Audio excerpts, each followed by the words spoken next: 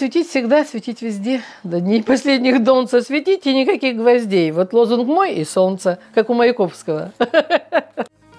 Что за чудо эта женщина, словно солнечная батарея, подпитывает она своей энергией всех и каждого. Наверное, в Галину Бачкову, активистскую затейницу, которая без дела и дня прожить не может, знает каждый. Когда надо, емкое весомое слово скажет, да не в бровь, а в глаз, а надо и праздник организует, и человека поддержит, и помощь необходимую окажет. Грамоты, вот можно по них можно ну, судить по ним, по этим грамотам, что я, чем я занималась вот эти 10 лет, находясь на пенсии. Вот. Какие только эти мероприятия, так сказать, не посещала и что только не вела. И я без этого не могу. И многие удивляются и поражаются. Вот. Ну, я вот как-то пыталась, вот как бы, ну, все равно я живу, ну, уже и как бы возраст, и здоровье, и все остальное прочее. Но ну, даже вот что-то, если приболел, день, если я полежала, я все, я потом вообще, я уже такая больная, что если это, поэтому думаю, нет, пока ножки ходят, голова работает, надо бегать, заниматься всем, всем, всем на свете, чем только можно. Жизнелюбию Галины Прокопьевны позавидует каждый. Главное не сдавать позиции, не опускать руки и быть на позитиве, считает она.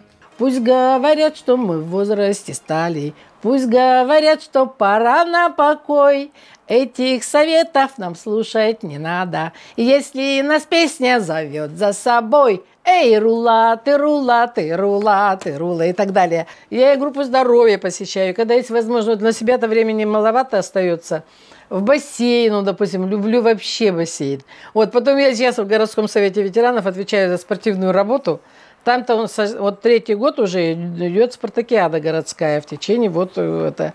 И вот каждому уже раз в месяц вот мы, я должна собрать команду, создать Э, собрать людей, кто умеет стрелять, плавать, э, ну и легкая атлетика у нас, потом дартс, потом шашки, теннис. Вот буквально на прошлой неделе у нас прошел, прошли соревнования по теннису.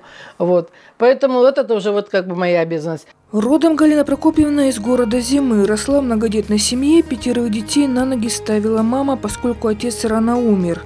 Всю жизнь, рассказывает наша героиня, мечтала стать преподавателем русского языка и литературы.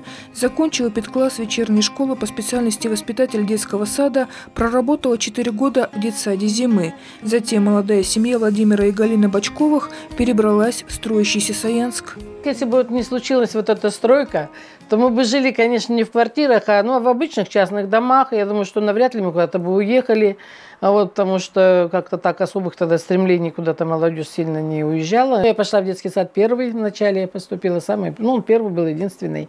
Пока была в декретном, потом шла в декрет, э, значит, у нас при школе э, филиал, 30-й э, детский сад открылся. Пока мы там работали, значит, построился еще один сад, вот он стал 30-м, перешли в это здание, в это помещение. Вот, ну, таким образом, а потом, значит, при ЖКО вот эти детские дворовые клубы. Все равно мне как-то стремление, желание было работать более старшими детьми. Хотя вот в общежитии, мы же в общежитии тоже были же они заводские. С молодежью сколько работы проводили. Я помню, вот комитет комсомолов тогда был, он занимался молодежью. Вот Ира Романенко там работала, Писарев потом Руслан, значит, возглавил э, комсомольскую организацию. Вот. И в то время, значит, вот занимались работой вот такой с молодежью. Ну, было здорово. Проводились только вечеров, всяких конкурсов, мероприятий. А, соревнования какие-то. Было, я говорю, ну вот все это в этом плане классно. В те времена, в период становления и рассвета страны, молодым смелым было все по плечу. Время было золотое для развития детских дворовых клубов, где Галина работала замначальника жилищно-коммунального отдела при химическом предприятии. Завод был богатым, вот, и выделялись путевки – и ежегодно мы с детскими клубами, с ребятами, значит, ну, с лучшими из клубов выбирали ребят. И э, возили их, э, экспедиция называлась «Моя родина СССР». Вот, представьте, СССР. Мы объездили всю страну. И на Украине были, и на Кавказе были. Во время перестройки Галина перевелась в цех производства пластмасс химзавода приемщиком сырья материалов и готовой продукции. Непосредственно на заводе, непосредственно э, ездила ну, в эти, и на базу оборудования, и 40, э, там, какой 44-й цех. Вот. Ну, то бишь, э, завод уже знала хорошо, все цеха, людей, очень много новых, конечно, ну и узнала производство. Тогда же отлично проходили смотры художественной самодеятельности. Разве это Разве это не здорово, когда люди, э, находясь вот отходя от станка, будем, ну вот скажем, да, э, идут попеть песни, почитать стихи, что там еще. А потом, когда сами что-то сочинили, еще и о родном предприятии, так это же вообще классно, прекрасно. Деньги, баксики над головой кружатся, но в карман они нам вовсе не ложатся. И от прибыли не спрятаться, не скрыться. ППЛовцы, она нам только снится. Ну, прибыли. Снится в наши карманы. Ну и так далее. А вот про мастера, кстати, ладно, вот еще один куплетик спою. Пластикатов мастер сменный, пластикатов мастер сменный, высший класс, высший класс. Он решит за нас проблемы, он решит за нас проблемы и за вас, и за вас. Общий стаж работы ветерана Сенсхимпласта Галины Бачковой на химическом комбинате составляет 32 года. После выхода на пенсию началась ее новая жизнь, например, интересная и насыщенная бурная деятельность в Совете ветеранов. Ну, в общем, работа закипела, будем говорить так, что сразу, значит, э, мы же возили людей в разные походы ходили.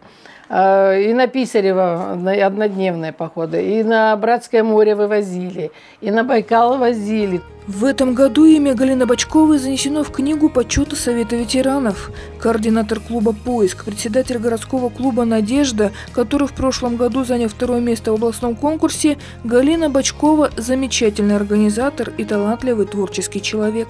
Мы, значит, говорим и о актерах, о художниках – артисты, там, певцы. Ну, в общем, разно... потом, ну, вот Иван Иванович Шишкин, вот это, это буквально вот когда прошло, вот в январе этого, с января этого года. Праздники здесь же мы также отмечаем День матери, День пожилого человека.